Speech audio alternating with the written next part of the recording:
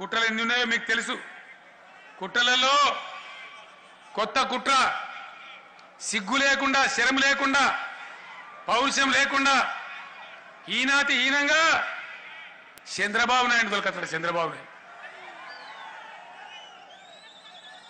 ఆమోదిస్తుందా తెలంగాణ? వీళ్ళ చిల్లర రాజకీయం కోసం నీచాతి నీతంగా దిగజారి ఇలా చంద్రబాబు నాయుడు దొరకచ్చి చంద్రబాబు నాయుడుకున్న హాఫ్ పర్సెంటో జీరో పర్సెంటో ఓటుంటే దాంతో గండం గట్టెక్తాడు సిగ్గు కూడా లేదు. చంద్రబాబు నాయుడు నిన్న ఒక మాట మాట్లాడి విజయవాడ అదో తమాషా. చంద్రబాబు నాయుడు ఏమంటాడు? తెలుగు వాళ్ళం ఒకటి అని నేను కేసీఆర్కి చెప్పిన.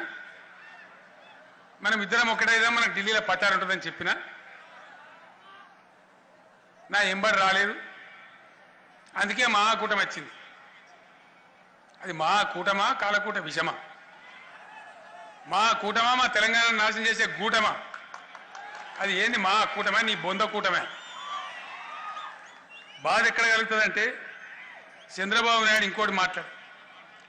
నరేంద్ర మోడీ కేసీఆర్ ఒకటైపోయిండ్రు సిగ్గు కూడా ఉన్నా మాట్లాడడానికి. నాలుగేళ్ళు నువ్వు ఆయన సంఖ్యలోనే ఉన్నావు కదా?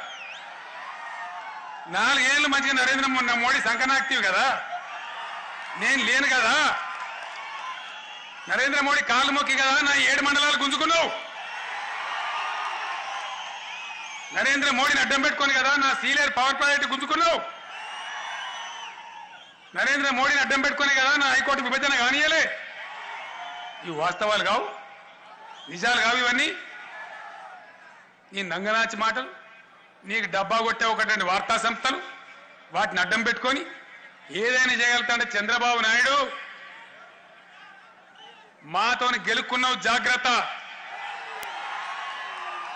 తెలంగాణ దెబ్బెందో ఒకసారి తలిగితే ఎగిరి విజయవాడ కరకట్టకు పడ్డావు. అనవసరంగా మా బతుకు మేము బతుకుతున్నాం. మేము నీ తెరువు రాలే. మా వ్యవసాయం మేము చేసుకుంటున్నాం. మాకు నూట పంతొమ్మిది ఉంటే నీకు నూట డెబ్బై ఐదు ఉన్నాయి నియోజకవర్గాలు. ఆడ చక్కగా లేదు నీ కథ.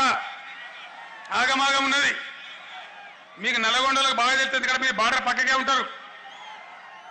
ఇవాళ ఈడ దుకాణం పెడతా అనుకుంటున్నావు బిడ్డ. డబ్బని నేను మూడో కన్ను తెరిస్తే నీ గతి ఏమైతో ఆలోచించుకోమని చెప్పి మనం చేస్తా ఉన్నాం. తెలుగు వాళ్ళం ఒక్కడుందామంటే నీ తెలుగు పెట్టే కదా మాకు తెగులు తలిగించినవు నువ్వు. తెలుగు పేరు పెట్టే మా కొంపారిస్త్రి ఆ తెలుగు సెంటిమెంట్ పెట్టే. చంద్రబాబు నాయుడు పేరు చెప్తే తెలంగాణలో దొడ్లు కట్టేసిన బళ్ళు కూడా తలుగు తెంపుకొని పారిపోతాయి. అంత భయంకరం అంత దుర్మార్గమైనటువంటి కాలనీ ఇది మళ్ళీ నువ్వు కావన్నా మాకు తెలంగాణకు. సిగ్గు లేదా మాకింకా? నువ్వు పెట్టిన బాధలు నువ్వు వేసిన కాల్పులు బూటక ఎన్కౌంటర్ల మీద నువ్వు కాల్చి చంపిన వేల మంది పిల్లలు వాళ్ళ ఆత్మలు ఘోషిస్తూ ఉన్నాయి ఈరోజు. అటువంటి తెలుగుదేశం పార్టీతోని సిగ్గు లేకుండా నిస్సిగ్గుగా పొత్తు పెట్టుకుంటామని పోతున్నారు కాంగ్రెస్ నాయకులు. అందుకే నేను తెలంగాణ కోసం మీ అందరికి తెలుసు ఎవ్వరికి రాజీ వల్లే ఎన్ని ఆటంకాలు వచ్చినా వెనకకు పోలే. నిజామార్తపేట హాస్పిటల్లో డాక్టర్లు చెప్పారు నువ్వు కోమాలకు పోతావు చచ్చిపోతావు కేసీఆర్ మా మాట వినంటే కూడా నేను వినలే. సావు నోట్లు తలకాయ పెట్టి సాధించిన తెలంగాణకు మల్లం తీసుకుపోయి విజయవాడ కప్ప చెప్తారా? దయచేసి ఆలోచించమని చెప్పి నేను నల్గొండ ప్రజలను కోరుతా ఉన్నా. చైతన్యవంతమైన ఈ జిల్లా తీర్పు చెప్పాలి.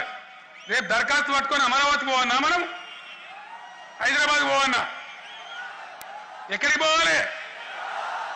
దీన్ని తిప్పి కొట్టాలని చెప్పి మనం చేస్తా ఉన్నా. ఆ యాభై ఎనిమిదేళ్ళ పీడ ఎన్నో పోరాటాలు చేసి బదిలించుకుంటే ఈరోజు మళ్ళీ దుర్మార్గులు నిస్సిగ్గుగా పౌరుషం లేకుండా తెలంగాణ ఆత్మగౌరవాన్ని మంటగలుపుతూ తీసుకుపోయి మనం అమరావతి గులాములు ఉండాలి. ఒకసారి ఊహించండి.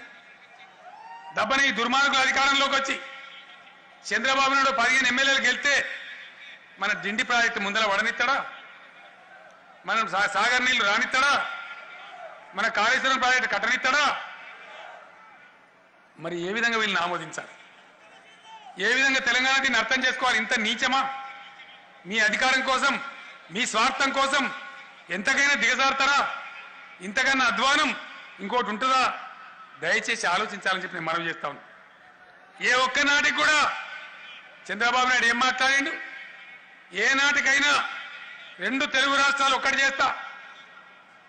ఇంకోడేమో రెండు జర్మనీలు ఒకటైనట్టు బెర్లిన్ కూడా కూలగొట్టినట్టు మళ్ళీ ఒకటి చేస్తామని ఇంకోటి మాట్లాడతాం చంద్రబాబు నాయుడు నమ్మదగ్గ వ్యక్తి కాదు. నయవంచకుడు ద్రోహి బొడ్లే కత్తి పెట్టుకొని తిరుగుతుండు. ఏ మోగ దొరకమని పొడిచి పారేస్తాడు. మళ్ళా తెలంగాణ బానిసలు కావాలి. దయచేసి పొరపాటున కూడా తెలంగాణ మేధావులందరూ ఆలోచన చేసి దయచేసి ఈ కుట్రను తిప్పికొట్టాలే. తెలంగాణ ఆత్మగౌరవాన్ని కాపాడాలి. పంతొమ్మిది నేను నన్ను గురించి ఎందుకంటే అంతకాలం ఆ ఆస్కింగ్ నేను చేసింది హైదరాబాద్ డెవలప్ చేయడం తప్ప బాబుల మీద పోరాడడం తప్ప. లేకపోతే ఏవైతే ఈరోజు జరిగాయో వీటన్నిటికీ ఆ రోజు రాత్రి బౌళ్ళు కష్టపడడం తప్ప. నేను ఈరోజు ఇంకొక స్టేట్ని డెవలప్ చేయాలని నేను పోతుంటే మీరు బీజేపీ డైరెక్షన్లో మీరు ఎప్పటికప్పుడు నా మీద అటాక్ చేయడం ఏంటి? ఇది ఎక్కడ న్యాయం? కాబట్టి నేను పౌరుషమైన పద- పద్యాలతో మాట్లాడినా నా సభ్యత కాదు మీరు చూశారు అప్పుడు కూడా అజిటేషన్లో కూడా. బట్ ఉందాతనం ఉంటుంది డిగ్నిటీ ఉంటుంది. But at the same time Telugu వారందరూ ఆలోచించాల్సిన అవసరం ఉంది. What is the mistake I have committed ప్రజాస్వామ్యమా? అమెరికాలో కూడా మనం పోతున్నాం.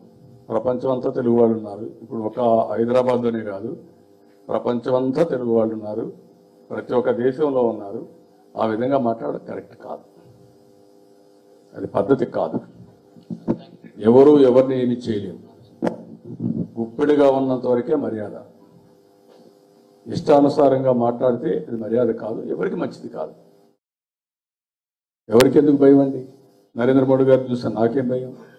ఎందుకు భయపడాలని అడుగుతాను నేను one of the most senior politician ఎక్కడి నుంచి వచ్చారు? వీళ్ళందరూ ఎప్పుడెప్పుడు వచ్చారు? పాలిటిక్స్లోకి I maintain character I maintain విశ్వసనీయత.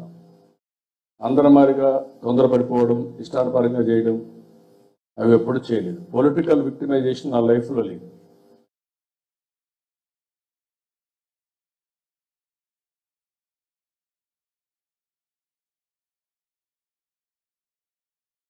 అదే మరి అనవసరంగా ఏదంటే మాట్లాడి విత్డ్రా చేసుకోవడం ఒకసారి పోవడం ఒకసారి విమర్శించడం నా చేత కాదు. ఎప్పుడు చేయను నేను. That is my credibility you have seen my for the last forty years not one or two years